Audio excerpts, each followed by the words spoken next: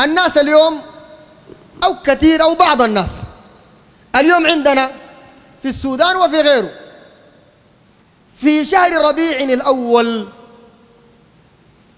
يحتفل الناس بميلاد النبي صلى الله عليه وسلم. تمام؟ في الأيام الأولى ال 12 يوم الأولى من شهر ربيع الأول وزيادة شوية ناس بيزيدوها وناس بنقصوها المهم. طيب هذا الاحتفال لو سألت أي زول منهم وبقول لك صادق ما بكذب. يقول لك يا أخي هذا الاحتفال اللي إحنا بنعمله محبة في النبي صلى الله عليه وسلم. وتقييم لهذه الذكرى وإنه ميلاده ده ميلاد أفضل بشر. كونه ميلاد أفضل بشر صحيح ما في شك. وكونه واجب نحب النبي صلى الله عليه وسلم ما في شك. وكونه نحن نفرح بمبعثه إلينا ما في شك. لأن ربنا قال لقد من الله على المؤمنين إذ بعث فيهم رسولا من أنفسهم وفي قراءة من أنفسهم يعني أزكاهم وأطيبهم وأخيرهم من أنفسهم يتلو عليهم آياته ويزكيهم ويعلمهم الكتاب والحكمة. ما في شك في الكلام ده كله.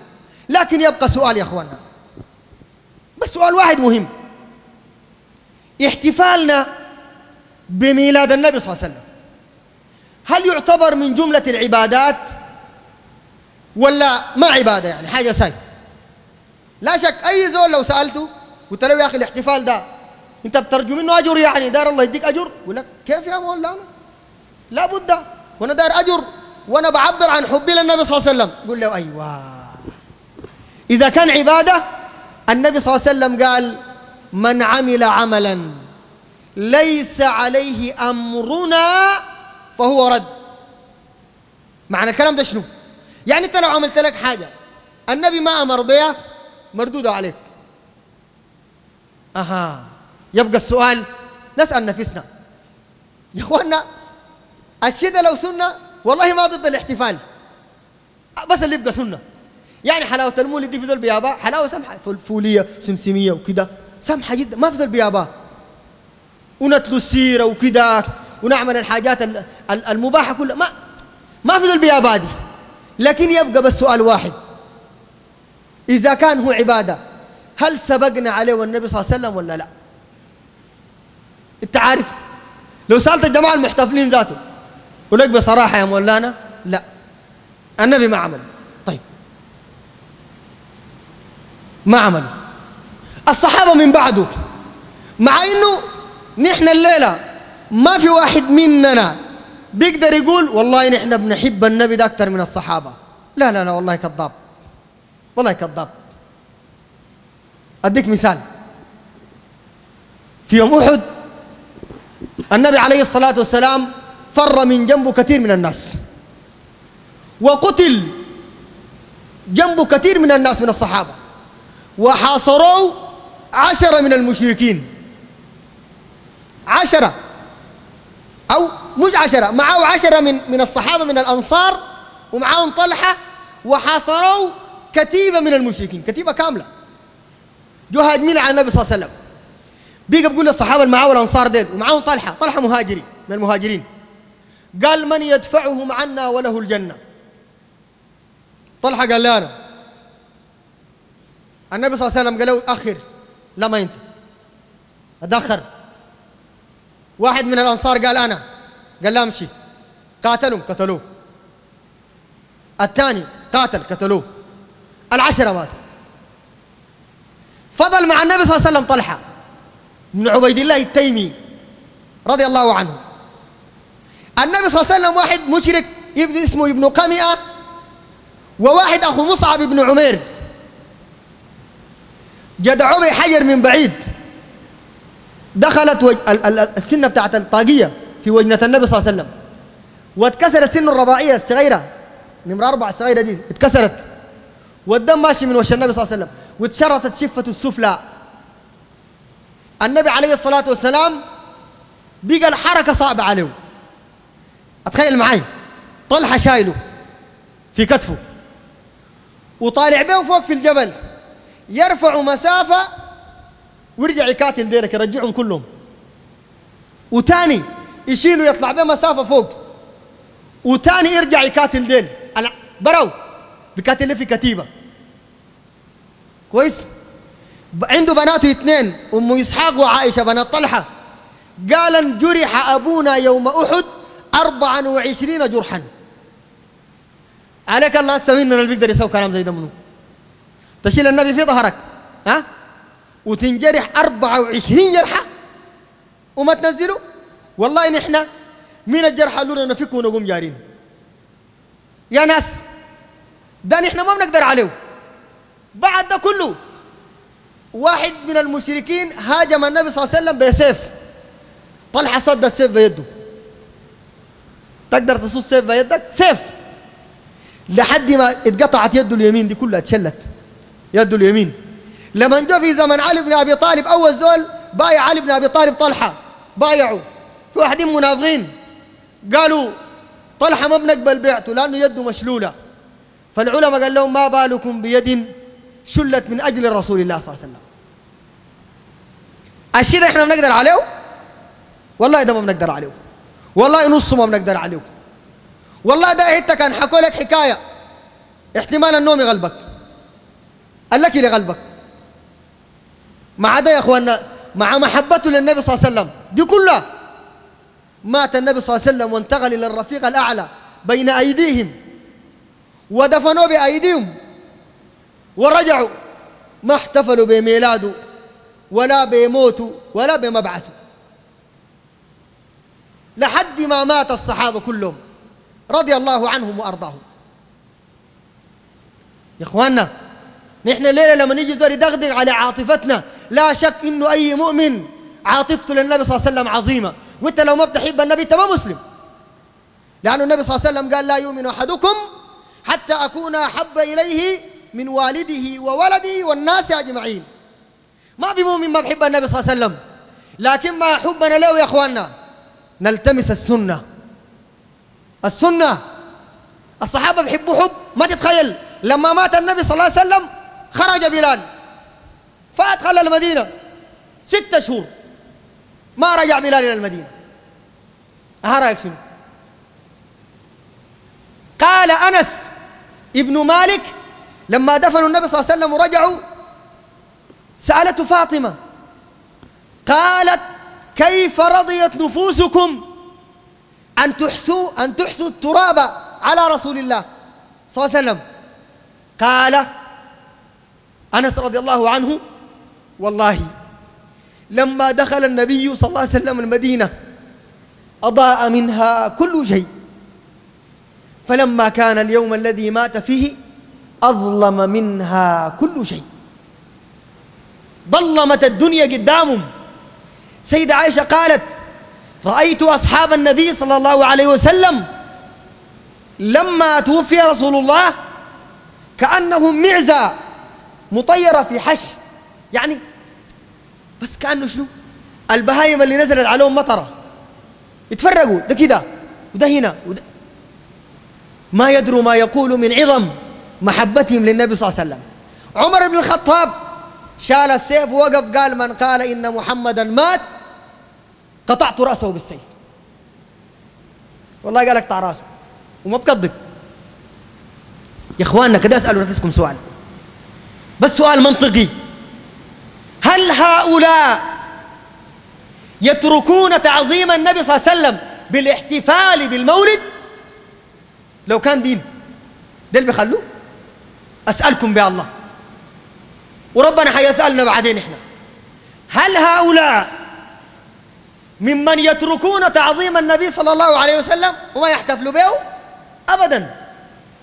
والله لو كان التعبير عن المحبة بالاحتفال الصحابة ما بخلوا لنا ما برجونا له ذكر في بعض الآثار أن خباب رضي الله عنه أسره المشركون أسروه الكفار.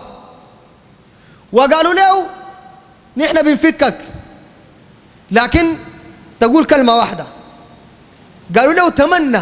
مش مش حاجة بجد اتمنى بس. قل له اتمنى لو إنه محمد في محلك أنت ده. والسيف هذا مارقينه له لو اتمنيت الامنيه دي بنفكك تخيل قاشن. يعني لو لقينا نحن. عادي بقول له. أتفكر من السيف خلاص أمشي. بل في الشريعة بجوز أقوله.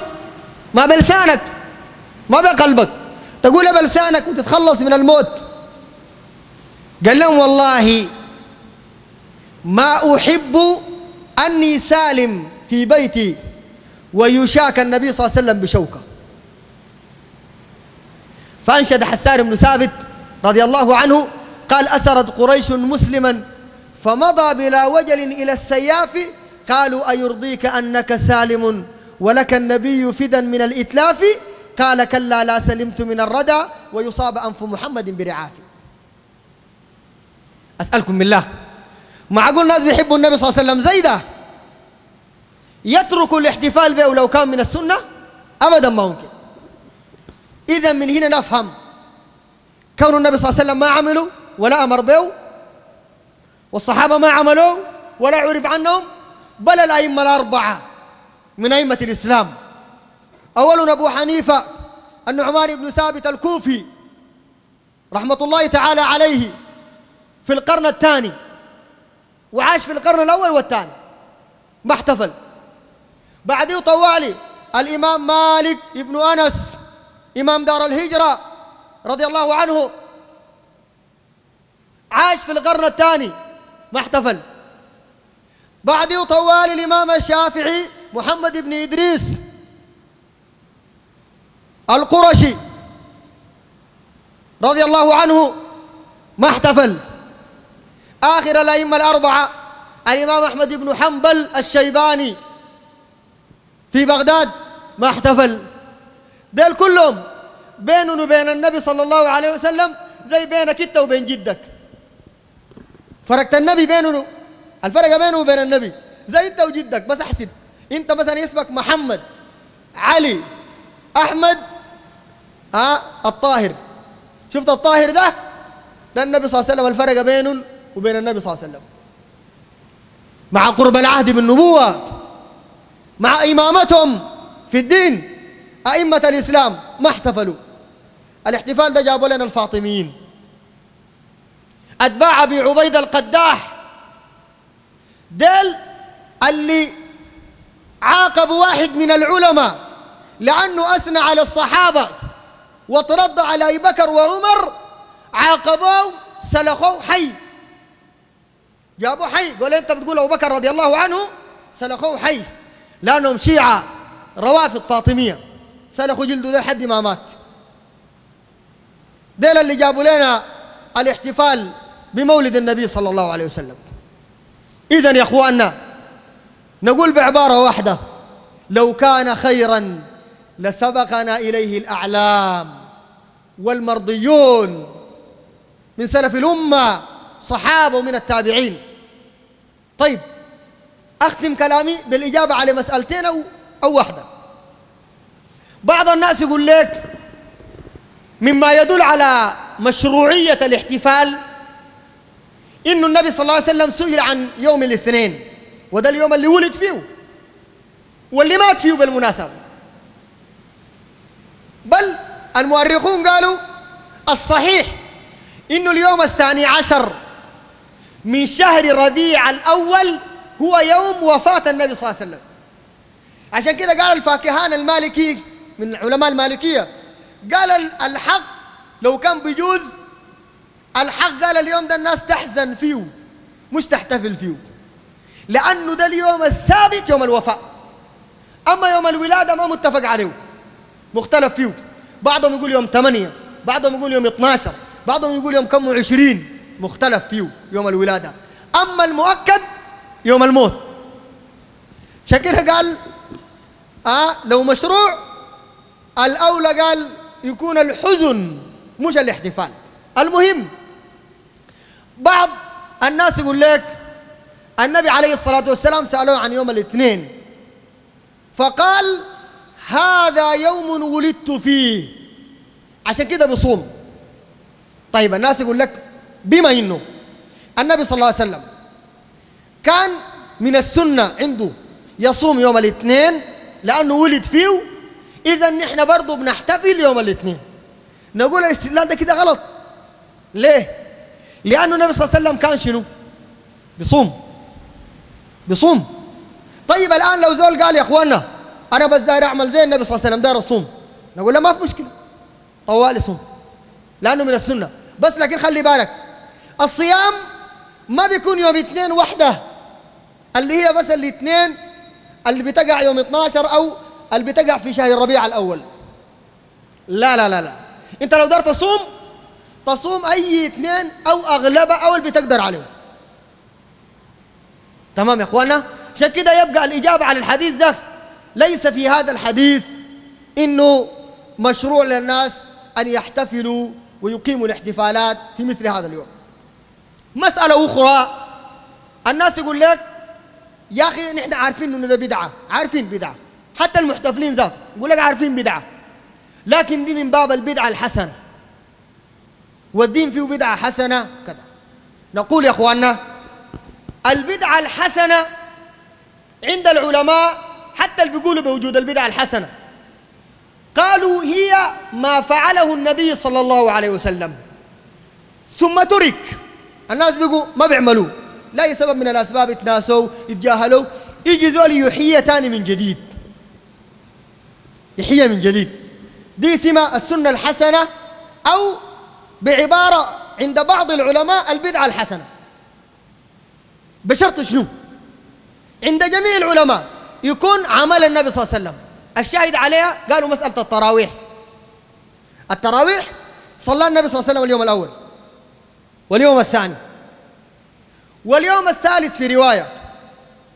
لما الصحابة تجمعوا اليوم الرابع ما طلع عليهم ما طلع. فأي ذو صلى لحاله. أي ذو صلى لحاله ورجعوا. النبي صلى الله عليه وسلم بين لهم قال لهم إنما خشيت أن تفرض عليكم لأنه الزمان زمن تشريع. لو جو طوالي بيجوا بيجوا بيجوا انتظم قد تفرض عليهم. ولو فرضت تبقى صعبة يا إخواننا.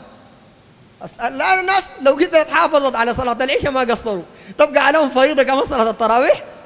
صعبة. النبي صلى الله عليه وسلم أحب أن يخفف على الأمة. طيب مضى عهد النبي صلى الله عليه وسلم كله؟ تراويح جماعة ما في تاني جاء عهد أبو بكر الصديق كله وصدرا من خلافة عمر رضي الله عنه. أول خلافة عمر كلها ما في. بعد ذاك عمر الخطاب لقى الناس بيصلوا مجموعات. رجل يصلي بمجموعة رجل يصلي لحاله براو كده. فرأى عمر الخطاب لأنه بعد ده ما في تشريع تاني يعني ما بتفرض تاني. خلاص العلة زالت. فقام جمع طوالي على أبي بن كعب. وقيل معه تميم الدار الأئمة وبقوا يصلوا بالناس جميعا. فنظر له عمر الخطاب وقال نعمة البدعة. طيب يا أخواننا سؤال هل دي زمن الرسول كانت ما في كل كل النبي ما عملها لا لا عملها آه. إذا دي ما بدعة هي. لكن لما تركت وجزل جدد من جديد عمر الخطاب رضي الله عنه من باب اللغة سمى بدعة لكن هي في الأصل شنو؟ ما بدعة. إذا الخلاصة. نقول إنه الاحتفال يا أخواننا ليس من السنة. وآخر ما أختم به لو كان الاحتفال من السنة يا أخواننا لو كان من السنة فليس بهذه الطريقة حتى لو من السنة. لأنه لو سألت نفسك سؤال ونحن الآن عايشين الواقع أمشي خش لك أقرب ساحة من ساحات الاحتفال. وعاين للناس. موسيقى شغالة. نساء متبرجات ها؟ أه؟ وحتى الكلمات اللي بتقال في المدح ها؟ كلمات خطأ وبعضها كلمات شركية يا من ألوذ به ها أه؟ ما لي من ألوذ به سواك عند حدوث الحادث العمم إن من جودك الدنيا وضرتها ومن علومك علم اللوح والقلم الكلام ده كلام ده غلو ما صحيح إحنا بنقول الليلة ها؟ النبي صلى الله عليه وسلم من علوم علم الدنيا والآخرة لا لا يا أخي. علم كل شيء ده, ده هو ما اختص به الله تبارك وتعالى. آه قلت يا أخواننا خلاصة الكلام. بعد ما بينا أن الاحتفال ليس من السنة وأنه بدعة والناس يتفقوا معك أن هذا من البدعة. قلنا لو كان يا أخواننا من السنة لو كان كافتراض لو كان من السنة فلا يكون الاحتفال بهذه الصورة اللي بنشوفها نحن الليلة. فإن لأن النبي صلى الله عليه وسلم يا إخواننا لو رأى هذه الاحتفالات ماذا تتوقع أن يكون جوابه عنها؟ أو جوابه عنها؟ يعني الليلة لو دخل النبي صلى الله عليه وسلم ساحة من ساحات الاحتفال حيكون تعليقه شنو؟ هل حيرضى اجتماع الرجال والنساء في مكان واحد؟ هل حيرضى بأنه يحتفلوا به بالموسيقى التي حرمها في أكثر من عشر حديث هل حيرضى إنه يحتفلوا به بالشرك اللي حاربوا طيلة حياته؟ يا أخي النبي صلى الله عليه وسلم في حديث عائشة رضي الله عنها وابن عباس كان عند الموت. قالت عائشة وكان يطرح خميصة له على وجهه عنده قطعة ببلها في الموية. عشان ينزل بها الحمى ويضعها على وجهه ويقول إن يقول ألا إن من كان قبلكم كانوا يتخذون قبور أنبيائهم وصالحيهم مساجد؟ ألا فلا تتخذوا القبور مساجد. لاحظ الكلام ده في سكرات الموت. ما ممكن يا إخواننا؟ نجي الليلة نحن احتفالا بالنبي صلى الله عليه وسلم. ننشد قصائد. هذه القصائد ينكرها النبي صلى الله عليه وسلم ويحاربها في وقت حياته أو هذه المعاني اللي فيها؟ ما ممكن. الليلة يجي الاحتفال بالنبي صلى الله عليه وسلم يقول لك بناديهم. يعني بنادي غير الله. بناديهم. في كل قضية بناديهم. حيين ميتين بناديهم. غلط. النبي صلى الله عليه وسلم قال إذا سألت فاسأل. فاسأل الله. ما قال لك نادي فلان ولا نادي فلان ولا قال لك نادي نانا مع إنه ما في أعظم منه. في البشر ما في أعظم منه. ما قال نادي نانا يجي زول يقول في الليل الهادي بنادي سيادي. جملة وفرادي. يناديهم بالجملة كلهم. وناديهم فرادي كمان واحد واحد. واحد واحد. يناديهم. وربنا سبحانه وتعالى يقول وإذا سألك عبادي عني فإني قريب. أجيب دعوة الداعي إذا دعان فليستجيبوا لي وليؤمنوا بي لعلهم يرشدون. يا إخواننا معقول نحن لو احتفلنا بالنبي صلى الله عليه وسلم نحتفل به بأشياء منعة أشياء محرمة. شوف النبي صلى الله عليه وسلم يوم من الأيام جاته جارية. عشان تعرف إنه الشعر ده ما كله كويس ما كله كويس. جاته جارية بتمدح فيه بقصيدة قصيدة طويلة. وفينا نبي وفينا نبي المدح في أصله ما فيه مشكلة لو كلام صح ما في مشكلة. قول أمدح النبي صلى الله عليه وسلم بأبيات جميلة وطيبة ما في مشكلة. لكن قامت قالت شنو؟ قالت وفينا نبي يعلم ما في غد. أها. هل النبي صلى الله عليه وسلم قال لا؟ أيوه قولي كده. لا لا. قال لا لا تقولي هذا. ده ما تقوليه. وقولي ما كنت تقولين.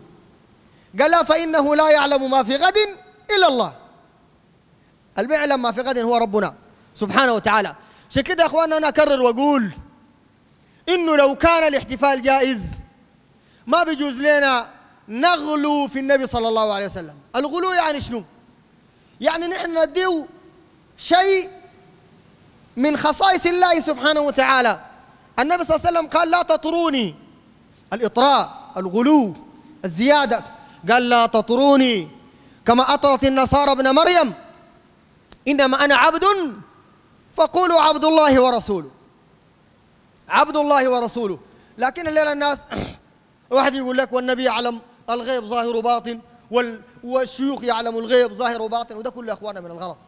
ما بيجوز اذا نحن أعظم أعظم شيء نمسك فيه قوي مما تركوا لنا النبي صلى الله عليه وسلم التوحيد الصافي. هو يا أخوانا اللي بدخلنا الجنة بعدين؟ بعد رحمة الله سبحانه وتعالى. الجنة بالتوحيد. رجل يوم القيامة النبي صلى الله عليه وسلم قال يؤتى برجل يوم القيامة له آه قال فتعرض له 99 سجل. من له سجلات كده. دي كلها ذنوب. تقال حسنات؟ 99 والسجل الواحد مد البصر.